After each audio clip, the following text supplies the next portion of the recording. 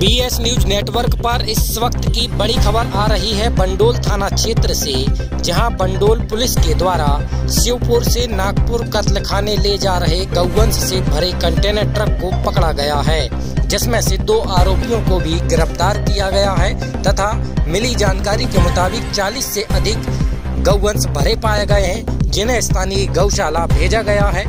फ़िलहाल बंडोल पुलिस इस पूरी कार्रवाई पर जुटी हुई है। कार्रवाई जारी है। बंडोल से राकेश यादव की रिपोर्ट।